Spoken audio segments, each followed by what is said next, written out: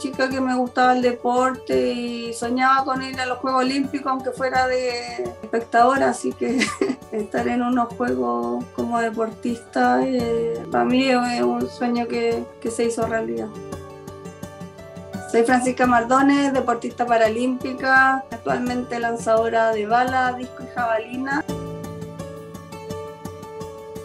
Los lanzamientos los comencé el año 2017. Yo venía del tenis, tuve muchísimos años ahí y de ahí me, me cambié a los lanzamientos y hasta el día de hoy hago disco, y jabalina y hasta ahora también sigo con, con esas tres disciplinas estuve en, Juegos Paralímpicos en Londres y en Río por tenis y ahora mis primeros Juegos Paralímpicos eh, por lanzamiento en Tokio. La energía que, me, que volví a tener después del accidente fue, me hizo revivir el deporte. Tuve un accidente el año 99 donde me golpeé la columna en una caída que tuve en un barranco y, bueno, desde ahí tuve muchos años de rehabilitación.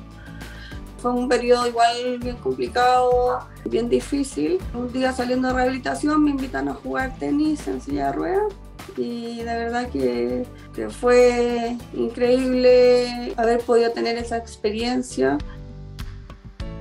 Eh, estaba ya con dificultad para mover la silla de tenis, estaba con un problema de movilidad y pelotas que yo llegaba fácil me estaba costando llegar y, por eso tomé la decisión de, de, cambiar de deporte. Se me presentó la oportunidad de, hacer lanzamientos, que, que es una disciplina donde no hay que mover silla de ruedas, así que se hace lanzamiento estático y me encantó.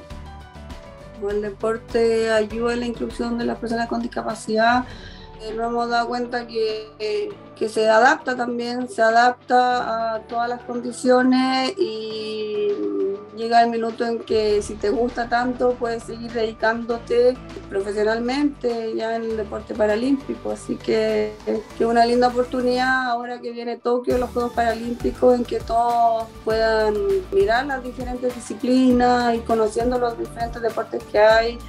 Eh, y se puedan ir involucrando, viendo si les gusta para, para poder practicarlo, que lo intenten, que, que crean en sí mismos que se interioricen en, conocer más del deporte, que, que, traten de ir conociendo más de lo que les gusta, que practiquen, que inviten a sus amigos, que, que se motiven pues, y que crean en sí mismos, porque al final eh, cuando uno cree en uno mismo, al final no hay límite, no hay barrera y, y se puede llegar donde uno quiere.